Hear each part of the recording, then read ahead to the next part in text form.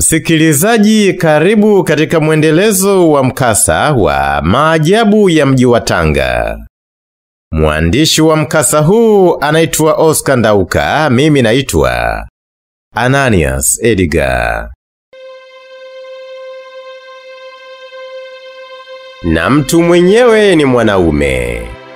Niliposogea kwa karibu kabisa, nilimuona mchungaji ndiye aliyekuwa amesimamiwa juu kichwani na wale watu wawili ambao nao nilibaini ni wanawake.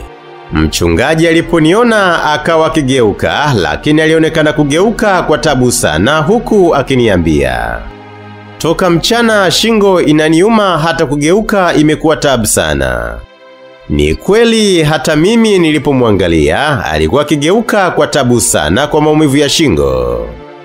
Niliwaangalia wale wanawake ambao bado walikuwa wamesimama kama watu wa sarakasi, hawaanguki wala hawatetemeki, waliganda tu, lakini kuna wakati walikuwa wakiinua mikono yao kuelekea kila upande.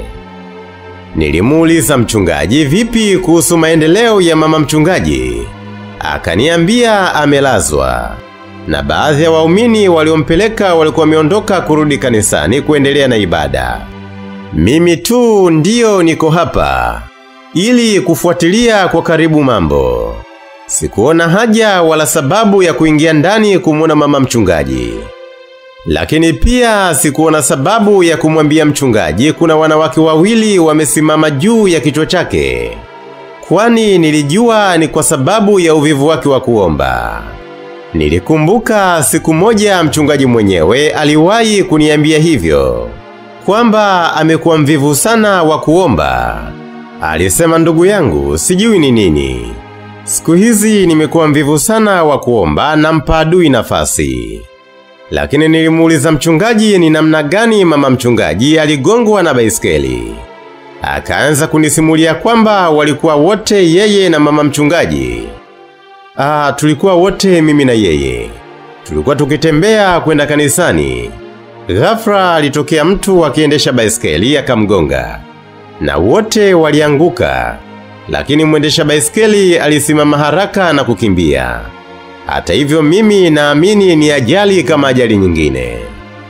Lakini alipokuwa kinisimulia hayo mimi kwa mbali nikawa kama naona maono. Niliuona uwanja kisha niliona tukio tofauti. Nilimwona mchungaji na mkewe wakitembea. Nadhani ndiyo walikuwa wakienda kanisani. Kisha nikaona watu watatu wakija kwa nyuma yao. Mmoja akiwa ameshika mti kama kuni. Wakati mchungaji aliniambia kuwa ghafla alishtukia baisikeli ikimgonga. Mimi nikaona yule mtu mwenye kuni akimpiga nayo mama mchungaji kwenye mguu wa kulia. Pale pale mama mchungaji akaanguka chini na kuanza kulia kwa maumivu. Ndivyo nilivyoona mimi. Basi mchungaji alipomaliza kunisimulia, wale akina mama waliosimama juu ya kichwa chake walijirusha juu kidogo waliporudi kutua walitua juu ya mabega yake badala ya kichwani. Mchungaji naye akaanguka chini. Kazi ikawa kumbeba mchungaji hadi ndani ya hospitali. Alipata matibabu na kuruhusiwa kurudi nyumbani. Bahati nzuri mkewe naye aliruhusiwa kutoka baada ya matibabu. Maisha yaliendelea nikiwa namtumikia Mungu wangu. Nilikuwa sikosi ibada hata siku moja na alfajiri nilikuwa sikosi kusali kwa muda wa saa moja. Sasa siku moja usiku nikiwa nimelala nilipata maono. Niliota ndoto nikiwa na yule yule mtu niliyekuwa naye mwenye mavazi ya kung'aa. Aliniambia, Jumanne, umejua mengi, umejifunza mengi. Sasa ni wakati wa kumtumikia kwa kuchunga kondoo wa Bwana. Hivyo wewe uwe mchungaji Fungua kanisa kwa ajili ya kusanyiko la watu wake ambao wana njaa na neno la kweli. Awali niligoma nikasema, siwezi kuwa mchungaji kwa sababu sijapitia chuo chochote cha kusomea uchungaji nikajifunza Biblia kama wachungaji wengine. Akaniambia, nani amekwambia kumtumikia Bwana mpaka usome chuo? Yeye ndiye mwalimu. Wale wanaosomea wameweka utaratibu wao, lakini Bwana ndiye anachagua nani amtumikie, nani asimtumikie. Mara nikashtuka kutoka usingizini. Nilikaa kitandani nikatafakari sana maelekezo ya yule mtu mwenye mavazi ya kung'aa, ambaye mimi naamini alikuwa malaika. Basi nilianzisha kanisa.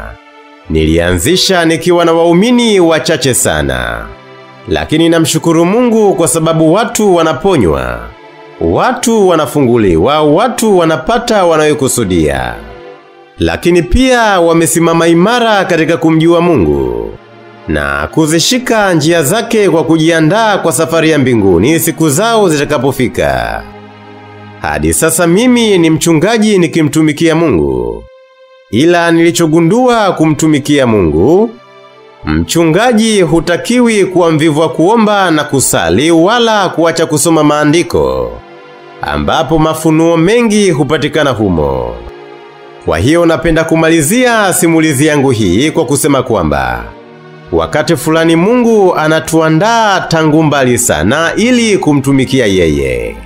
Unaweza kufikiri unapitia majanga, kumbe ni maandalizi ya kukutoa sehemu moja kwenda sehemu ya pili.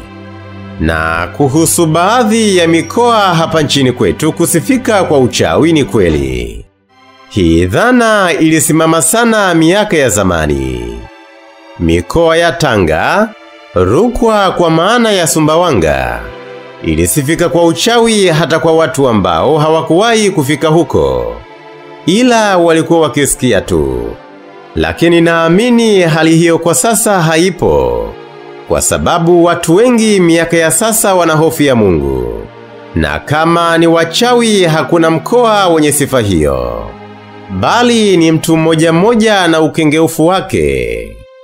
Na huo ndio mwisho wa simulizi hii. Mwandishi ni Oscar Ndauka, mimi naitwa Ananias Edgar.